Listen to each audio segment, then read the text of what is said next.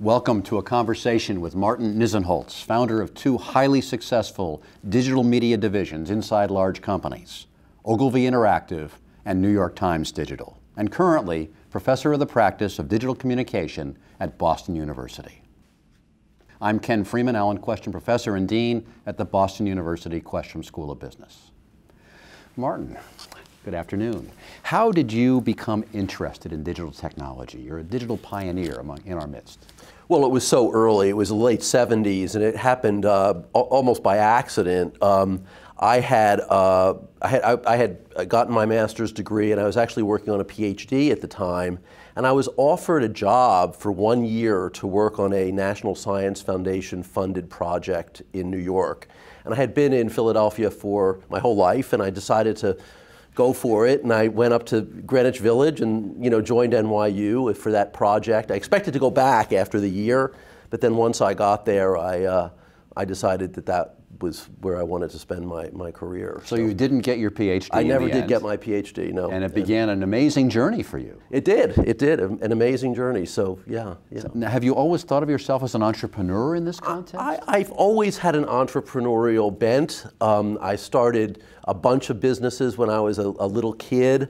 Um, and obviously none of them turned into Microsoft, but you know they were they were fun little businesses. Yeah, yeah. No, I always thought of myself that way. And you went to Ogilvy. Went to uh, Ogilvy. No yeah. online presence when you arrived, or very limited, I imagine. N no online presence at all. Uh, what happened to, to, to catalyze the Ogilvy thing is the Time Inc. The, the, the, you know, the old newspaper company that we now think of as a, uh, kind of as an old media company. Back then it was a titan of media was doing an experiment with teletext. This is the technology that I was working with at NYU.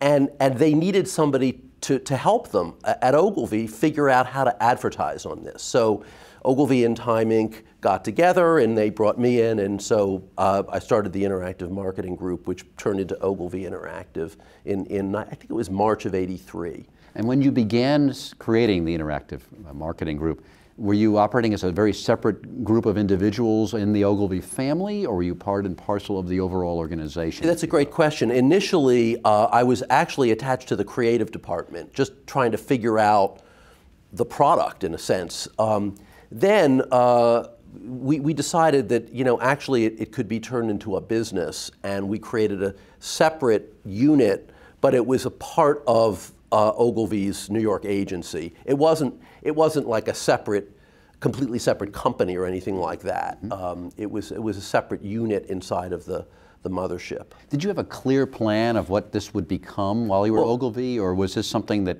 you would be finding yourself looking around corners, if you will, trying to anticipate where the yeah. I mean, going. it was a research and development unit in a way. All the big media companies were experimenting with interactivity back then. Um, this, is, this is before that first version of interactivity failed. The PC had just been invented, believe it or not. So the IBM PC, Apple had brought its PC to the market, and then IBM came, you know, in, in, in a little bit later, I think in 81. And so everything was just beginning to develop. There, were, there was no infrastructure. So by definition, you know, we were experimenting. And, and fortunately, Ogilvy had some wonderful clients who really wanted to try to understand the future. And they, you know, paid us, and so we uh, worked with them for, for 10 years. I mean, it was, it was a tough go, I have to say. It, it's a, there's a, a lot of lessons about constancy of purpose and, and other other things in there. I mean, it, it was it was not easy. Not those, easy Those all. were very hard years. Yeah. Interesting. Yeah. now, after your time at Ogilvy, you said, "I want to do this again." Essentially, from the outside looking in, you went over to the New York Times. Well, I was at Ameritech for a year. For a year. Yeah, for a year, and I was so happy to come back to New York and work for the Times. Yeah, it was I. I, had always read the New York Times growing up and, and in college, and so it was something I had great respect for, and I just I thought I was in nirvana when I got that job. So you took a detour to Ameritech, and exactly they were exploring as well. No they doubt. were. They were. They you know this was the era of deregulation in the mid '90s, and so they were doing what is called a cable overbuild. They were actually doing a duplicate cable service in Chicago, and they needed programming for that service, both linear and interactive, and they hired me to run that. -huh. So that was a a, a fun time, but um, I was really happy to to join the family to, to join in the New York Times. To join the New York Times, yeah, yeah, So when you went to the New York Times, I love the title that you started out with. You were the, uh, the head of the Electronic Media Company right. in 1995. Yeah, yeah, yeah, As we look back on that, it, it, it's, it's fun to think about.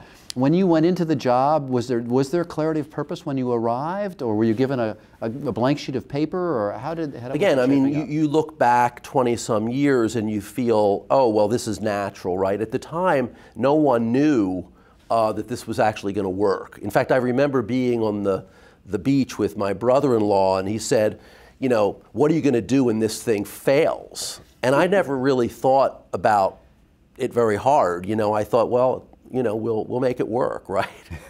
so, yeah, uh, I mean, I, I, I was always the, the kind of person who, you know, was optimistic about, you have to be optimistic if you're going to do this kind of work. It, it's just not, possible to, to get up every day otherwise. Yeah. There's too many ways you might fail, so you really have to have that positive attitude. Well, yeah, I mean, look, by the time, I mean, you know, five or six years, seven years in, by the time it was clear that the internet was going to change the world, it started to get a lot easier, right? But, but, but when, when nobody knows what's going to happen and you're out there alone, that's a different feeling. And that's what I meant about the Ogilvy years, yes. because there, there were a lot of years there where people were you know, not, not happy to, to see this division still around, mm. to be perfectly sure. honest. So the resistors, the change resistors yeah. are saying, oh, why oh, yeah. in the world, you're Believe changing me, my world. Most, most are. yeah, yeah. Now at the times, this was 95 when you began, the, the dot-com bubble didn't burst until 00 and 2000, yeah, 2001. Were there key decisions you made early on that were definitive for the future strategy for New York Times? Oh, absolutely. I think the, the first and most important decision that we made was to require registration to use the website. Um, Wired magazine had tried this, it had failed. A lot of people thought that it wouldn't work at the New York Times, but, but there, ha having, having come from Ogilvy, which is obviously a, a, a marketing firm, yes. I just had the sense that we really needed to, to get as much data as possible on, on our users. So at the time, you know, there, there, there, was no ad tech, so essentially the way we got the data was simply by asking the users. And that was called permission marketing. It was, you give me your, your data, I'll give you a free website. Uh -huh. It was a much more explicit relationship than you have today, where most people don't even know they're being tracked half the time. Yes. And that's part of the privacy problem, the, the, whole idea of surveillance capitalism, which is an ethical is, issue for the industry in a way. Yeah, absolutely. Yeah, oh, yeah. for sure. Yeah. So, yeah. so you started out with free registration. We did, but fairly soon thereafter decided maybe that it would be good to get some revenue associated with this. And well, the having subscribers uh, pay for the privilege. No, this is a very interesting and controversial part of the history. Um, the Wall Street Journal had come out right before we did with a pay model. Now, the journal is a, at that time in particular, was a B2B product. A lot of the, the subscribers were being subsidized by their businesses. We felt as a general interest newspaper, as a consumer product, we needed to build a big audience in order to build an advertising business, which was where the scalable mm -hmm. business was. We didn't want to create a newsletter. Mm -hmm. So we felt that the free model would give us that runway. We did charge overseas just because uh, we had to, there was a there was sort of a cultural element to this. It was, it was not a popular decision at the time not to, uh, to charge. Um, in retrospect, I think it was exactly the right decision. But um, later, when the audience was large enough, we then switched on and we moved and, and it was, thankfully it was successful. But the, at the time, I, I, just wanted to build a scalable audience. Building audience. Yeah, yeah. building audience. And right. when the price business. is right, it helps. And, yeah, uh, yeah, and, yeah. With, with well, a great product, also, of course. It, there, there, was a lot of competition from CNN and others that would never charge, right? CNN is a, has a mm-hmm. cable mm -hmm. model, mm -hmm. uh, the broadcast networks. Everything collided instantly when the World Wide Web was created. We weren't in the newspaper business anymore. We were competing generally in the you know mm -hmm. electronic news business. So other key decisions. So the key decision initially to be free, to build base, the decision later on to, to begin charging for the service at the right moment as the base had been built. Right. Are there other key decisions that, that came along that were vital to the success of New York Times? I think Digital? one key decision was how you staff a, a small unit like that. I decided to staff it with a combination of people from inside the company and from outside. And, and look, you could go with all insiders, you could go, go with all outsiders. I felt that if we could manage to get the mix right, it would be best. Um, it's hard because the outsiders have a perspective that the insiders might not like, and the insiders might be a little bit resistant to change. But I think if you can build a team like that, um, you're better off than just going with all insiders or all outsiders. So, so diversity helped essentially. Yeah. At Ogilvy, it was all outsiders because no one at that time wanted to work on it from the inside. And on the on the at the Times, you started as a separate uh, entity within the Times as well. We as set, started as a unit of the Times. unit. Right. It was not a separate entity in the sense that it was an IPOable entity. That didn't come until the dot com boom. Yeah. And, and then when did the integration take place of the digital and the traditional Times together? Well, it started as a as oh, okay. So it started as a separate unit. Mm-hmm. Then we completely broke out, and we were you know headed toward an. IPO. The dot com bust got in the way of that. We remained completely separate for about four more years, and then in 2005, with the uh, with the with a new CEO in the business, there was a decision to integrate the uh, the It was primarily a strategic decision as much as anything uh, in terms of senior leadership saying it's time to bring the two, enter- Y- the two pieces together. Yeah, if you will. yeah, yeah. That's right. Yeah. The, uh, that must have been quite challenging, I imagine, to, to integrate it what had become two very different cultures. It was incredibly challenging. It had become two very different Mm-hmm, cultures, and the, in my view, the business side part of the digital culture felt like they were being taken over. The news side really wanted to work for the New York Times newsroom. It was an interesting, uh, you know, dichotomy. The, Mm-hmm. the news side people seemed very happy to come over and be in the in, with the mothership. The business side people were, were less less happy with that. It's an interesting. It's That's just an interesting, interesting dynamic, yeah, isn't it? Very interesting dynamic. So the journalists more readily adopted Yeah. themselves to being uh, in multiple Well, they forms always of wanted the transmission, if imprada- you will. im- im- im- im- imprimatur of the uh, of the New York Times, you know, as journalists. Yeah, yeah. yeah, yeah. And I don't blame them. So the imprimatur historically, when I was a kid, was uh, the New York Times would say all the news that's fit to print. Correct. Uh, is there a new imprimatur at the New York Times? Well, there, there, we actually held a contest right after I joined in the mid '90s to figure out what we were going to put on the website, and all the news that's, that's fit to print won. Now, don't ask me why it won, but I think it's a sign. It was a sign of things to come. yes. that way. How about that? Now, the digital age, uh, we're all in the midst of it, and, and certainly the, the news industry has been in the forefront uh, with others in terms of being uh, in, the, in the leading edge of change. Uh, in industry, typically, we'll, we'll establish metrics to measure progress in what we do. And, and I'm just wondering, as you think about the, the measurements of success in the digital, digital age, uh, what are some of the digital measures that you've used as you've led uh, two enterprises completely through their transformation? And, and how do you think these measures will evolve in the future? Well, to be fair, Ogilvy was done before the web was meaningful. It was done in a world of, of proprietary online services. Remember America Online? That was a uh, proprietary online service. Prodigy, CompuServe, those those services, as, as well as standalone machines. Um, so that was a different world. Once the web came along, standards evolved pretty quickly, and you know, for a long time, the standards were, you know, and and believe it or not, still are monthly unique visitors Is that right? which is which is uh, to me a, a, a, um, not not a great metric. Yeah, it's not a great metric. It doesn't say anything about how engaged these visitors are or or anything. Mm-hmm. So you'll see, well, BuzzFeed has 350 million unique visitors. Okay, so what?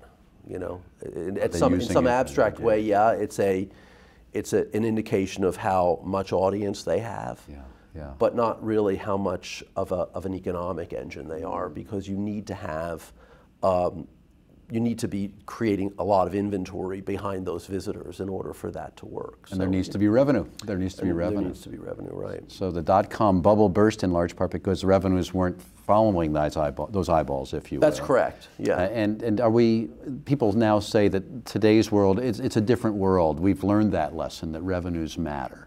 Uh, do you think that the full lesson's been fully wor- learned by the, the digital uh, I think there's always a tendency for um, uh, the word bubble might be an overstatement about what has taken place over the last four or five years, but um, I think you, you know you saw valuations decline pretty considerably Mm-hmm. over the last 12 months. Um, the so-called unicorns, Yes. uh, in, in- mostly in Silicon Valley. Um, and there, I do think, yeah, I do think that valuations got ahead of uh, of of uh, business fundamentals to some extent.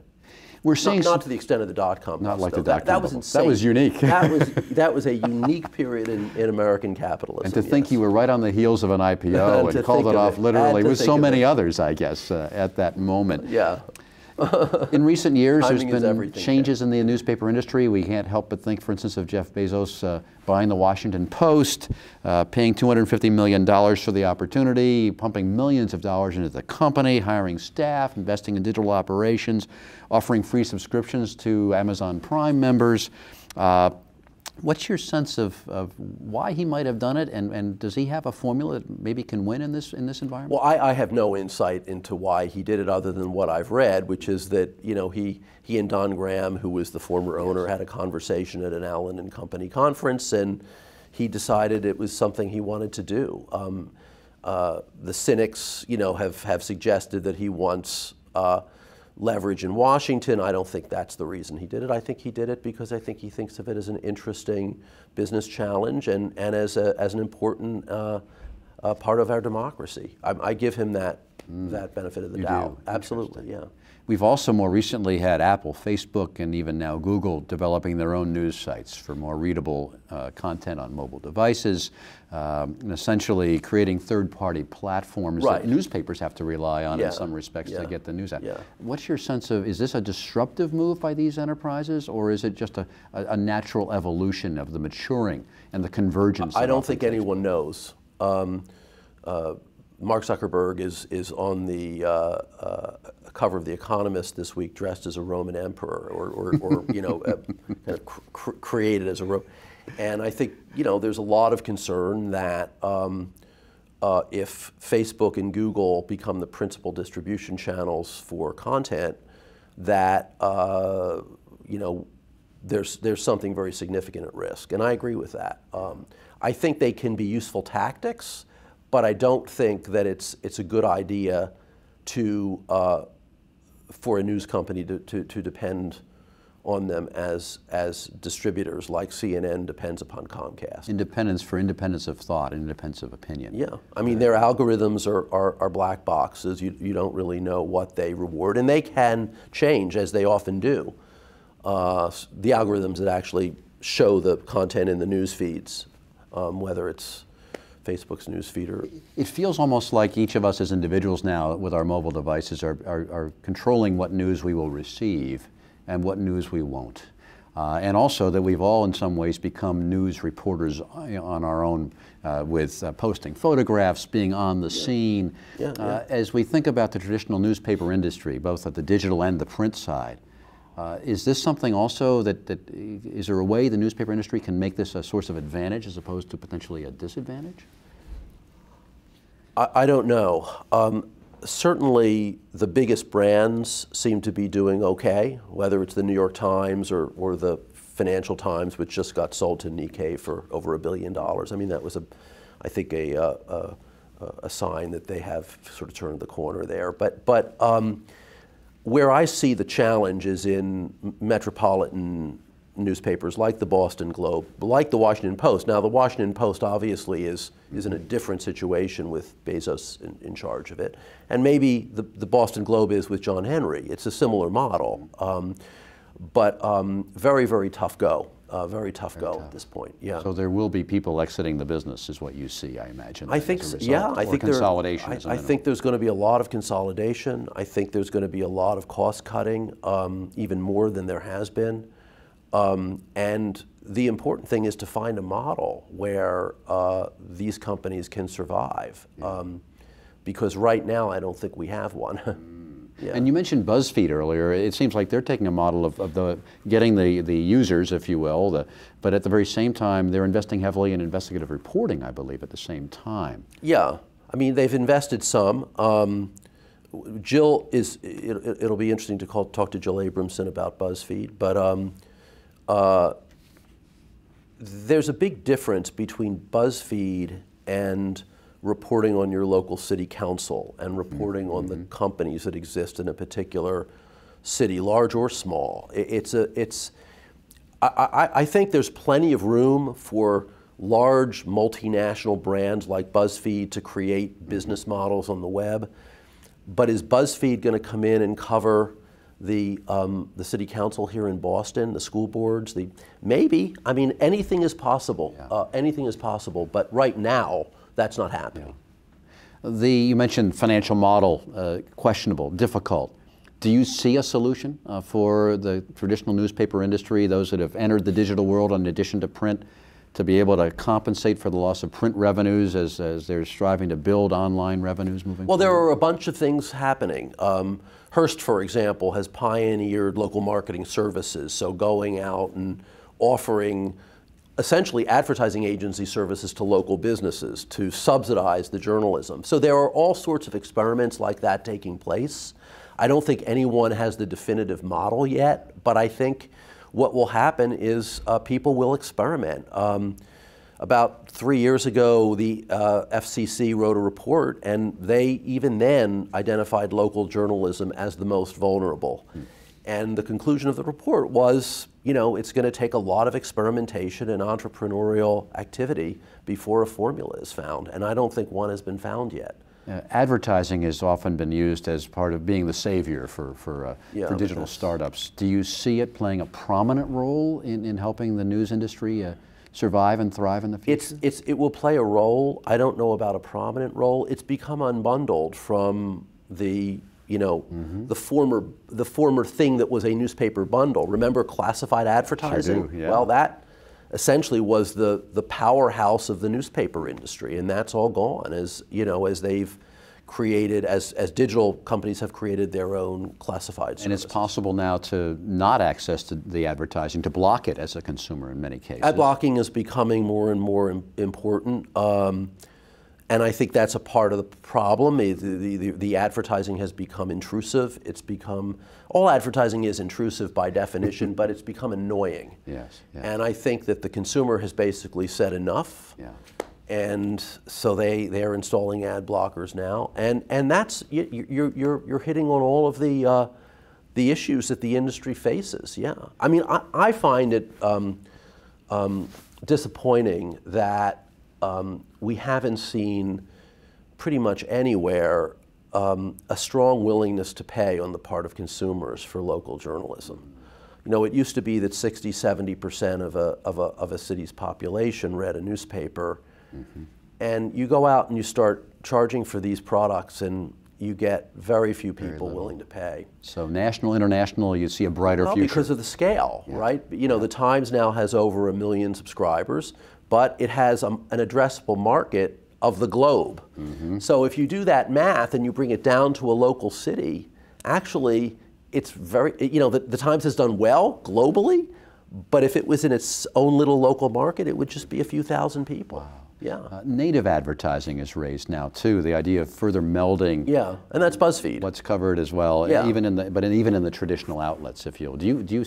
I would think that that could risk. Uh, the, the compromising the integrity historically of, of, uh, of the great names in, Yeah. in, in newspapers. I think that most newspapers have really managed that, managed it pretty well. Um, it, it's it's not so much that um, there's a problem with with native, you know, from an ethical perspective. I don't think, although obviously you have to have certain, uh, you know, you have to have behaviors there that make sense. It's not that. Uh, it, it, it's that it's that it's that native advertising is hard to scale because every time you create a native campaign, right? You see if you're creating it for this one, and then you're creating it for that one, and then you're creating. It's, a hard, it- very hard. There's a wonderful thing about TV, sta- you know, 30 second and 60 second standards, right? You stamp them out, they play everywhere. It's, it's, a beautiful thing, right? It's done, right? beautiful thing, really, truly. Now you have a, a tradition of looking around corners uh, as you've done your thing in your wonderful career all the way through, uh, Martin. Uh, there are lots of topics now: virtual reality, artificial intelligence. Do you see what's you, what do you see around the corner that's next as the as the newspaper industry, the news industry uh, addresses the future? Well, I mean, I, I've I've actually honestly never been one to be. I, I'm not a futurist. I, I I mean, my career has been spent managing businesses and grinding it out. honestly, um, and so I I I, I actually have a hard time with the futurist thing and saying, well, in five years we're going to reach the singularity and everybody's going to. I, I just I just don't know how to do that. So. I, you know, I would say that you know putting putting one foot in front of the other is probably the best course of action. But um, uh, yeah, I mean, if you'd like a couple of, of comments about that, I, I, I, do think virtual reality is a very interesting technology, particularly in gaming. I mean, I think it's going to be a, fascinating new creative platform for the gamers, and and it, will be uh, exciting. Yeah. Um, I'm not so sure about news. It, it, doesn't feel quite right to me for, for news. Beyond the crossword puzzle. Yeah, maybe. um, but but you know, yeah. I mean, I think I think the, the, the argument would be, well, you can actually take somebody and immerse them into the the neighborhood that you're writing about. If if you were writing about Brussels, for example, you'd actually put the person in uh, Molenbeek and have them, and that's cool. Yeah, I mean, if you can do that, I don't know. Uh, whether it's it's practical or not, we'll see. We'll see. Yeah. Martin, is there is there something that's been the key to your success uh, through your career? Uh, you know, I, th I think uh, resiliency would be the, the word that I would use. I mean, it's it's really easy from this perspective to say, well, all that stuff was it just happened and it. But at the time when you're looking forward, a lot of times it you know you you, just face challenges and. Um, you've got to be resilient if you're going to do stuff like this. Uh, entrepreneurs in particular. I I, am not an entrepreneur, as you suggested. I created two divisions within big companies, which is a form of, we call it intrapreneurialism, right? And it, it's it, actually, I like to say it, it comes with all the, all the uh, risk of an entrepreneurial activity and none of the upside. so I, I, think probably that would suggest that I'm actually pretty stupid at the end of the day. But uh, because if I had created a big agency or a big publication, you know, and I own, you know, half or more of it, that would have been a much, uh, much more lucrative way to go. But, but no, all, all kidding aside, you, you obviously couldn't do that uh, at the New York Times. So Martin, as, as you think about the next generation, the students that are going to oh, be, yeah, they so, leave so academia. Yeah. So, so advice for, for students that'll be leaving the safety of academia and, and going out there and, and, and encountering the world, a digital world, if you will. What advice would you have for, for uh, students today? Well, I mean, I think the, the best advice I, I can give is to um, remain open to just wonderful experiences. You know, it, everything is not going to be perfect all the time.